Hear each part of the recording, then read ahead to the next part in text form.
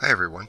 Today we're going to talk about IP addressing and basically Ethernet communications. So communicating through Ethernet, it involves uh, the Open System Interconnection Model or the OSI model, and the model is made for computing systems to communicate with each other without the need for understanding all the um, underlying internal structure and technology that uses. So think of it like um, sending a letter.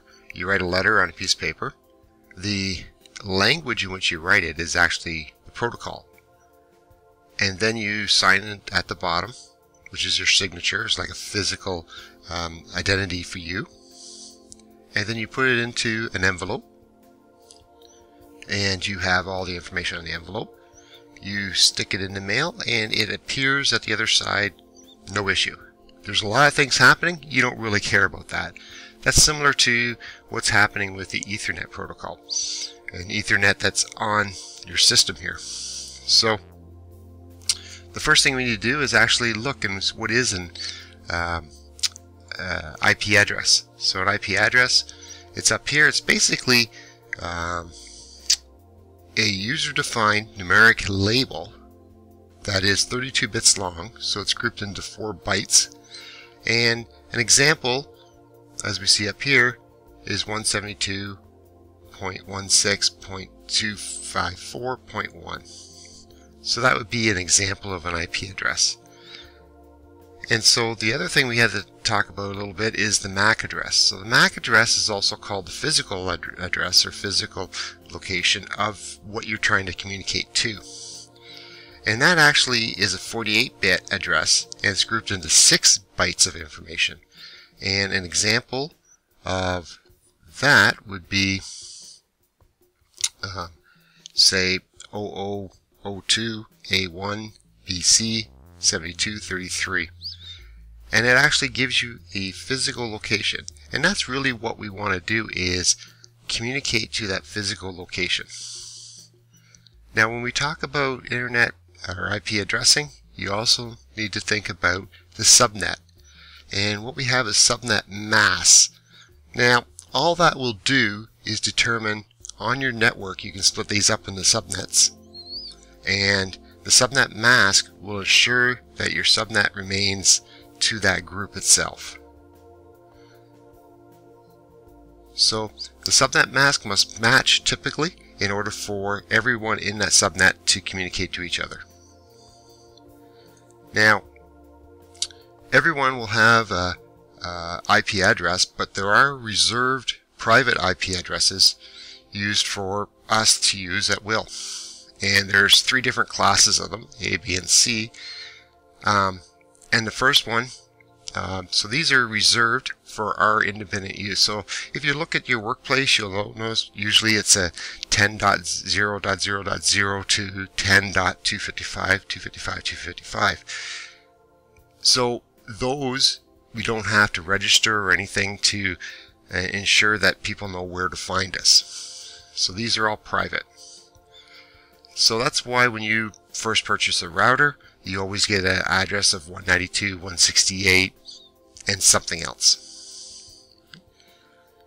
So what we're going to do is let's uh, take a look at uh, communicating to a Click PLC. So I'll call up the software here, and what we'll do is click Online. Okay, we'll change this to our Ethernet. And currently right now, I have an IP address of 192.168.1.3 with a submask of 255.255.255. The default gateway just tells me where I'm going to go to get to the internet. And up here, I can see that it automatically has scanned my network and has determined that I have a PLC. The IP address is 192.168.0.10. The submask is 255.255.00. There's the part number and it's saying it's in run mode right now and the status is good. The MAC address, so the physical uh, location is, or physical number is this right here. So right now I know that my uh, IP address, okay, um, does not match what I see here. Okay, that's mainly because they, it is a 1 there and a 255 there, but submask is not the same. So when I hit connect, it should give me an error. So I'm doing that right now, and what you'll see is it's not matching. So two things have to happen. We'll have to change our submask, and we'll have to change um, the IP address. And the IP address that we should use is a 1 there and a 255 here so that the information then can be the same. We'll say OK, and let's just edit that. So that's our, our default one, so let's set manually. And so what we want is 192.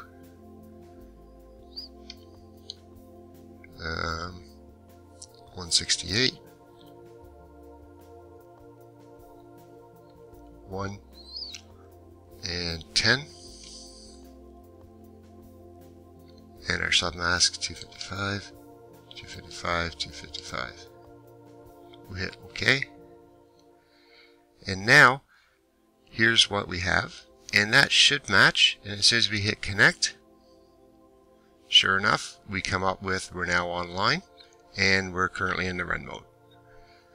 So that's it.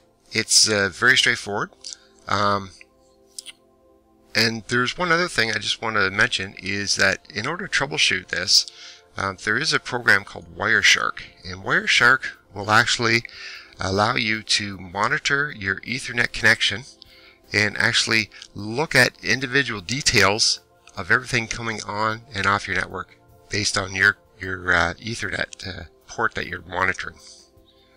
So it's a very useful tool. You can actually see the protocol and you can actually understand a lot more when they color code all the different protocols that are being used. Alright, that's it for now. If you have any questions or uh, need further information, please give us a call or a shout. And if you like this video, please give us a thumbs up and hit the subscribe for to make sure that you're always on top of everything that we produce. Thanks for watching